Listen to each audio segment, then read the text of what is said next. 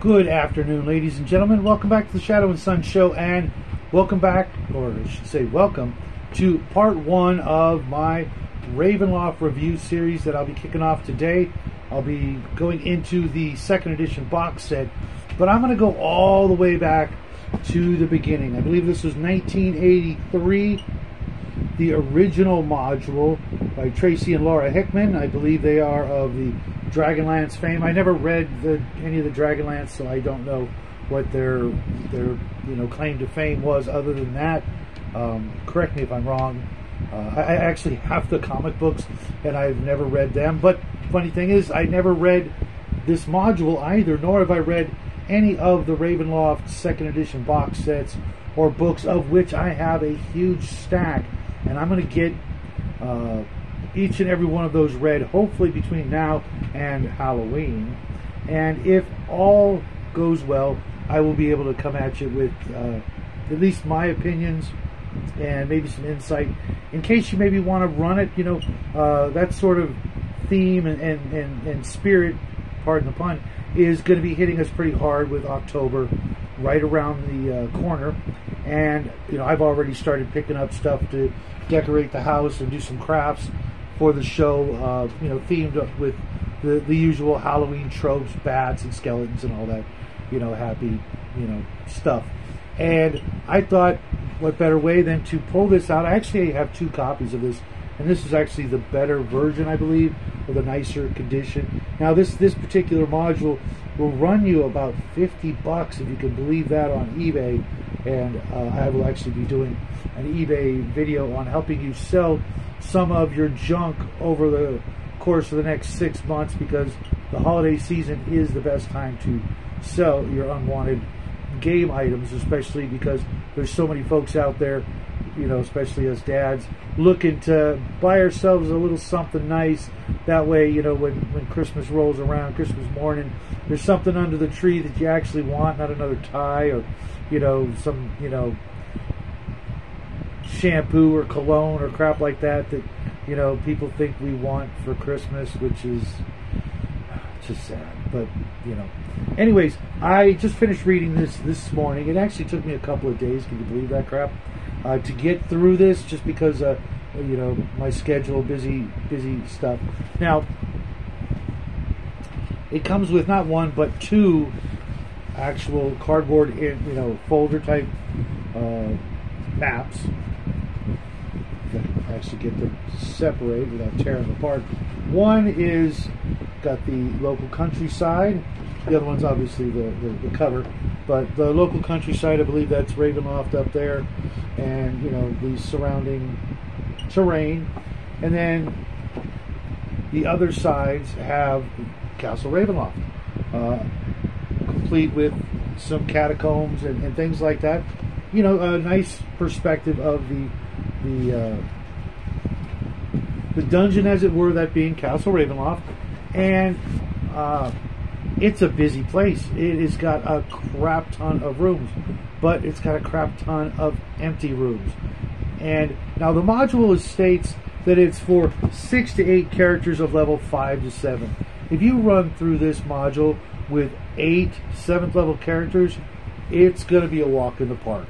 It really is. Mind you, there, uh, you know, obviously to to beat this module or whatever to, to successfully you know play through it and, and, get out alive and that, that means out of Ravenloft which I'll go into in a minute um, you, are gonna have to kill Strahd uh, mind you he's only got 55 hit points and yeah he can you know kind of get out of a, a lot of sticky situations but eventually he's got to go to his you know his coffin and once the players find that there's you know you split your party into four uh, two groups of four seventh level characters, and he's SOL. Even if you were, you know, all fifth level, you, which uh, you know is probably impossible because your thief or something like that would be much higher level.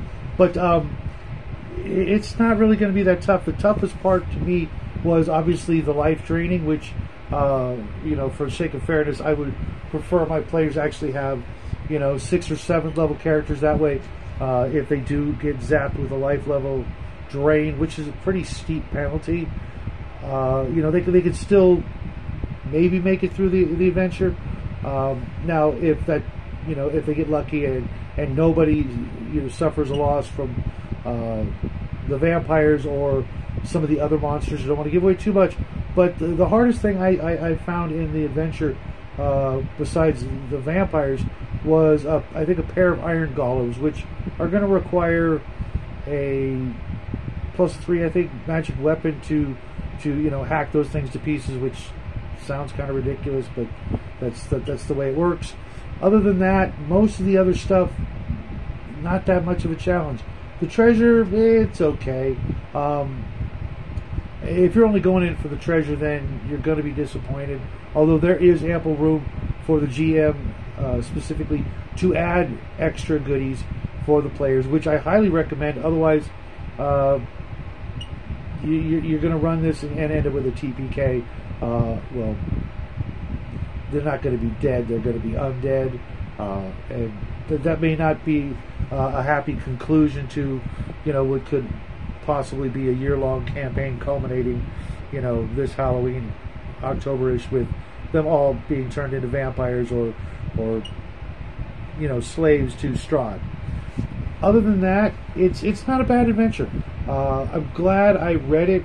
Uh, I don't know that I would have enjoyed running it back in the day, uh, just because it is so complicated and it, it's it's so full of rooms. I mean, there's probably close to hundred rooms that you're going to have to, you know, watch the players try to scour and clean and search every single room until they find, you know, the, the vampire's lair. And the fortune telling card section I find found a little confusing, and I think I could improvise a, a, little bit better. The the the way they described it and explained it uh, would have been better with a little bit more clearer instructions instead of so much time and energy spent on the graphics.